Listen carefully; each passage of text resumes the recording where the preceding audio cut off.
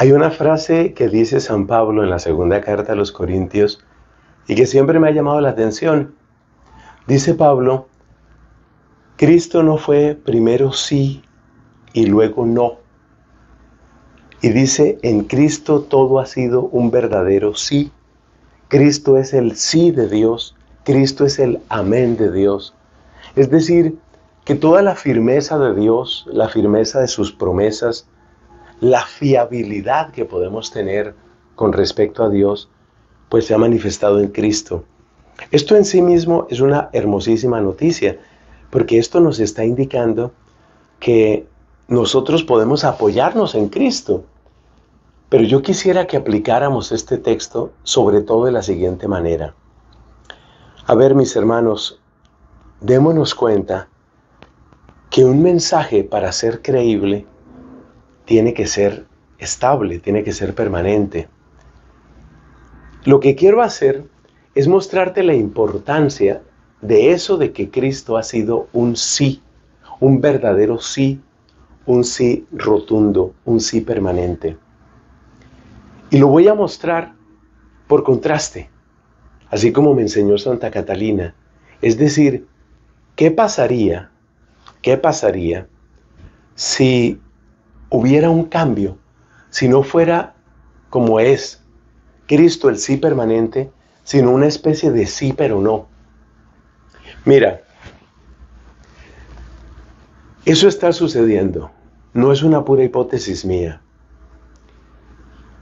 Cuando se quiere cambiar la doctrina de la iglesia, ese es un sí pero no.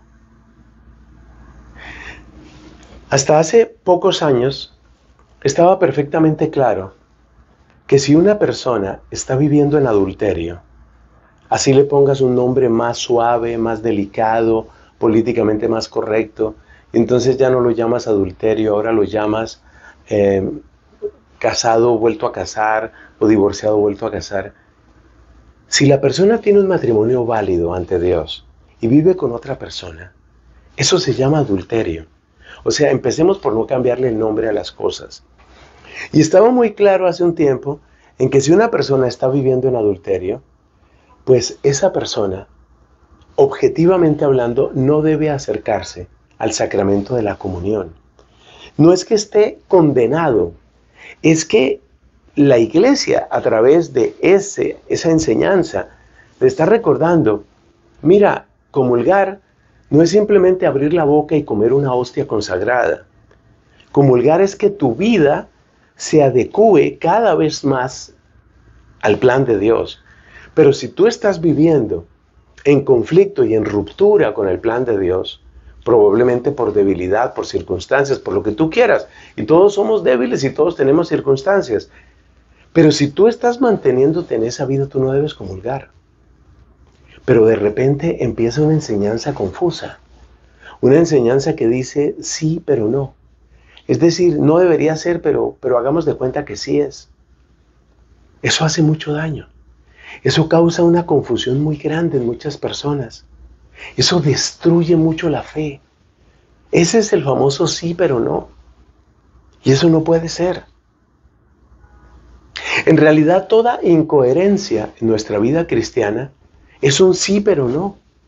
Por ejemplo, si nosotros predicamos a un Cristo que vivió en generosidad, en pobreza, en humildad, y nosotros queremos vivir en medio de privilegios y en medio de lujo y en medio de comodidad, lo que estamos diciendo es, sí, este es el Evangelio, pero no, no es lo que yo vivo. Eso nos lo ha recordado el Papa Francisco. Y por eso él predica tanto la necesidad de una auténtica sobriedad. Estamos llamados a vivir, sobre todo nosotros, sacerdotes, a vivir en sobriedad. Y si no lo estamos viviendo, entonces es un sí, pero no. Si tú dices que eres seguidor de Cristo y no vives como vive Cristo, en esa sencillez, en esa generosidad, en esa abnegación, en esa donación, tú estás diciendo, sí, ese es el Evangelio, pero no, no me interesa. Entonces, yo lo que quiero que recojamos de estas palabras de San Pablo es que son una tremenda, una potente invitación a que por fin seamos coherentes, a que por fin asumamos nuestra vida y por fin hagamos de nuestra vida ese evangelio que el mundo, aunque rechace, sigue esperando y sigue necesitando. Amén.